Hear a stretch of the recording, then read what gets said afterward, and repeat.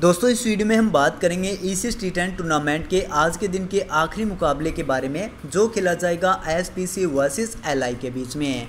अगर पिच के बारे में बात करें तो दोस्तों बैटिंग के लिए काफ़ी अच्छा विकेट है, जो बल्लेबाज अपने पोटेंशियल के हिसाब से बल्लेबाजी कर रहे हैं, वो यहाँ पर काफ़ी अच्छे रन लगा रहे हैं, और जो गेंदबाज सही लाइन और लेंथ पर बॉलिंग करेगा, उसको भी थोड़ा बहुत एडवांटेज देखने को मिल सकता है।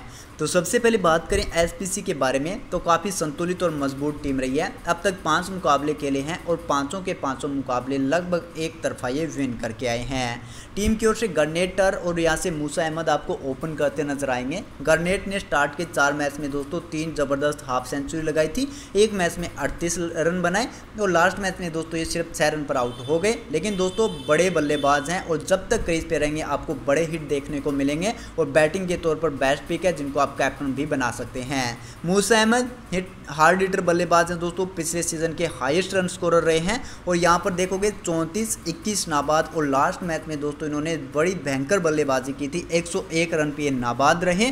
और दोस्तों ये भी जब तक क्रीज पे रहने वाले हैं, आपको बड़े हिट देखेंगे। आपको चौके छक्कों के साथ इंटरटेन करेंगे। तो दोनों के दोनों दोस्तों कैप्टन वाइस कैप्टन की बिल्कुल ज़बरदस्त पिक रहने वाली है।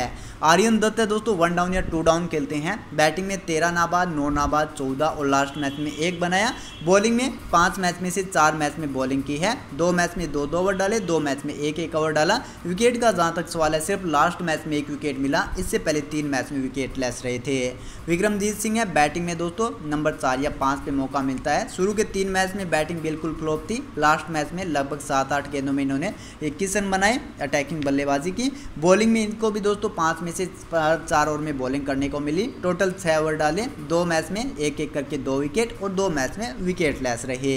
सरीज अहमद दोस्तों, काफ़ी अच्छी बॉलिंग करवाते हैं। इकोनॉमी भी अच्छी रहती है विकेट निकालने की भी एबिलिटी है। पाँच मैच में से दो मैच में तो विकेट नहीं मिला था, लेकिन बाकी के तीन मैच में पाँच विकेट निकाले तो बिल्कुल अच्छी पिक रहेगी। अगर सेकेंड इनिंग में बॉलिंग करें तो और भी बेस्ट पिक आपके लिए बन सकती है। पी बलवंत सिंह हैं। शुरू के चार मैचेस में टोटल छः ओवर डाले थे। तीन मैच में एक एक करके तीन विकेट एक मैच में कोई विकेट नहीं मिला और लास्ट मैच में टीम ने इनसे बॉलिंग नहीं करवाई। दानिश उमर को वन डाउन खेलने का एक मैच में मौका मिला, चौदह रन बनाए। बाकी ना तो शुरू के दो मैच में पारी और ना ही लास्ट के दो मैच में इनको बैटिंग करने का मौका मिला। आसिफ, होसिन बैग्स हैं दोस्तों जो कि लगभग दो ओवर कंप्लीट डाल रहे हैं। अब तक चार मैचेस के अंदर टोटल सात ओवर बॉलिंग किए हैं। सात ओवर में दोस्तों, तीन मैच में तो एक एक करके इन्होंने तीन विकेट निकाल लिए, एक मैच में इनको विकेट नहीं मिला। टॉम हैं दो मैच, दस रन, एक विकेट पहले मैच में और लास्ट मैच में दो ओवर, इक्कीस रन, एक विकेट। दो मैच में दोस्तों, दो विकेट निकाल चुके हैं। इमरान चौधरी पहले मैच में दो ओवर, तेरह रन, एक विकेट, लेकिन जो लास्ट मैच था, उसके एक गेम चेंजर प्लेयर रहे थे। एक पॉइंट पाँच ओवर में बीस रन खर्च के और चार ज़बरदस्त विकेट टीम को निकाल के दिए हैं। मनमिंदर सिंह एवरेज परफॉर्मर गेंदबाज हैं। एक मैच में एक ओवर में इक्कीस रन, एक विकेट था। लास्ट मैच में इकोनॉमी अच्छी रही, लेकिन विकेट इनको नहीं मिला। बाकी बेंच के प्लेयर को लेकर कोई भी चेंज वगैरह होगा तो उसकी पूरी जो इन्फॉर्मेशन है दोस्तों रिकॉर्ड के साथ मिलेगी हमारे टेलीग्राम में, और टेलीग्राम का लिंक आपको वीडियो के नीचे मिल जाएगा। अब हम बात करें एल e के बारे में। उससे पहले दोस्तों, अगर आपने वीडियो को अभी तक लाइक नहीं किया तो भाई की मेहनत और मोटिवेशन के लिए एक लाइक ज़रूर कर दें, और चैनल पर अगर आप पहली बार विज़िट कर रहे हैं तो चैनल को भी सब्सक्राइब कर लें। एल e की जो टीम है दोस्तों, पहला मुकाबला एसपीसी के खिलाफ ही हार कराई है छियालीस रन से। और इनके बैटिंग ऑर्डर में मुझे लगता है दोस्तों, कोई ना कोई चांस ज़रूर देखने को मिल सकता है इस मैच में। पिछले मैच में मुनीब मोहम्मद और अब्दुल रहमान ओपन करने आए थे। मुनीब मोहम्मद है दोस्तों, वो टी ट्वेंटी इंटरनेशनल बेल्जियम की ओर से खेलते हैं और इंटरनेशनल में पिछली सात इनिंग में 115 रन बना कर आए हैं, जिसमें से एक मैच में इन्होंने तिरपन गेंदों में सत्तर नाबाद बनाए थे। तो ये भी दोस्तों एक एग्रेसिव टाइप के अटैकिंग बल्लेबाज हैं, कभी भी बड़े रन लगा सकते हैं लास्ट मैच में तेरह रन बनाए। अब्दुल रहमान लास्ट टाइम दो हज़ार बीस में ईसीएस में ही खेल के गए थे, वहाँ पर इन्होंने तेईस में उनचास, आठ गेंदों में सोलह रन, एक विकेट बॉलिंग में भी निकाला था और एक मैच में 16 गेंदों में नौ बनाए। तो दोस्तों, बैटिंग ठीक ठाक करते हैं। अगर नीड हुई तो बॉलिंग भी करवा सकते हैं, लेकिन लास्ट मैच में बॉलिंग इनकी, बॉलिंग इनसे करवाई नहीं और बैटिंग में ये चल नहीं पाए।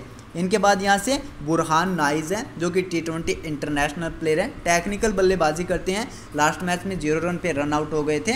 लेकिन बॉलिंग देखोगे मीडियम पेसर और एक ज़बरदस्त विकेट टैकर गेंदबाज हैं। पिछली चौदह टी ट्वेंटी इंटरनेशनल बॉल चौदह ओवर्स के अंदर इंटरनेशनल में आठ विकेट निकाल कर आए हैं। यानी दोस्तों, काफ़ी अच्छी एबिलिटी इनके पास है। लास्ट मैच में भी इन्होंने दौर में चौदह रन खर्च करके दो विकेट निकाले। उमेर भट्ट टीम के कैप्टन और एक पावर हिटर बल्लेबाज हैं। ये भी दोस्तों, बड़े जीत में विश्वास रखते हैं। कई बार जल्दी आउट हो जाते हैं। अगर सेट हो जाए तो बड़े रन के लिए जाते हैं। जैसा कि लास्ट मैच में 55 रन बनाए। बैटिंग के अलावा दोस्तों एक काफ़ी अच्छे लेग स्पिन गेंदबाज भी हैं। लेकिन दोस्तों, ये जो स्टार्ट के मैंने आपको बताया था, मूसा अहमद और बर्नेट, अगर वो दोनों आउट हो जाएँ तो उसके बाद इनकी बॉलिंग चल सकती है। अगर ये टॉप ऑर्डर के सामने फंस गए तो फिर दोस्तों स्पिन गेंदबाजों को भारी पड़ सकता है। लेकिन दोस्तों एबिलिटी इनके पास काफ़ी अच्छी है। कभी भी ये बड़े विकेट निकाल सकते हैं। बेल्जियम की टीम को दोस्तों ये पहले रिप्रेजेंट भी करते थे तो काफ़ी अनुभव इनके पास है। इनके बाद यहाँ से एज फोनकुल्ला नंबर पाँच पर आई, खाता नहीं खोला बैटिंग में। बॉलिंग में भी काफ़ी मार पड़ी, एक ओवर चौबीस रन, कोई विकेट नहीं मिला। ओडीआई रिकॉर्ड अच्छा है, नौ मैच में पच्चीस का बैटिंग एवरेज है, प्लस में पचपन ओवर में सत्रह विकेट बॉलिंग में निकाले हुए हैं। इनके बाद वकास राजा नंबर छः पर आए थे छः रन बैट के साथ बनाए। बॉलिंग में भारी मार पड़ी, दो ओवर छत्तीस रन, विकेट भी नहीं मिला। टी इंटरनेशनल में भी ये भी खेलते हैं दोस्तों तो अनुभव तो इनके पास भी अच्छा है तो ग्रैंडली में मौका देना चाहिए तो इनको ज़रूर एक टीम में दे सकते हैं। सुल्तान अली एक एवरेज परफॉर्मर बल्लेबाज है विकेट कीपिंग करते हैं बैटिंग में ज़्यादा कुछ इनका योगदान नहीं रहता। अली अब्बास नंबर आठ पर आए थे ओवरऑल रिकॉर्ड नहीं है लास्ट मैच में आठ बनाए। अली राजा नंबर नौ पर आए थे छः रन बनाए। पिछले ईसीएस में भी तीन इनिंग में सिर्फ़ बारह रन बना पाए थे। सोहेल कालिम नंबर दस पर आए, एक रन पर नाबाद थे बैटिंग में। बॉलिंग काफ़ी अच्छी की दोस्तों, ये स्पेशली अपनी लाइन और लेंथ के लिए जाने जाते हैं। ज़्यादा पेस नहीं है, लेकिन सही टप्पा रखते हैं। और लास्ट मैच में दौर में आठ रन खर्च करके इन्होंने एक विकेट निकाला। सेरब जाहिद लास्ट मैच में एक ओवर डाला, अट्ठारह रन खर्च के, कोई विकेट इनको नहीं मिला। ओवरऑल इनका कोई रिकॉर्ड नहीं है। बाकी बैंस के प्लेयर पे इनके दोस्तों, अदनान रजाक एक ज़बरदस्त हार्ड हिटर बल्लेबाज और डेथ उसके स्पेशलिस्ट गेंदबाज हैं। अगर कोई भी खेलेगा तो अपडेट आपको दोस्तों टेलीग्राम में मिल जाएगी और टेलीग्राम ज्वाइन करने का जो लिंक है वो मैंने वीडियो के नीचे भी मैंसन किया है। अगर link by the way work ना करें तो दोस्तों आप सीधा टेलीग्राम में जाके भी हमें सर्च कर सकते हैं। आपको टेलीग्राम में जाकर टाइप करना है W G F twenty four और सर्च करके जुड़ जाना है टेलीग्राम के अंदर।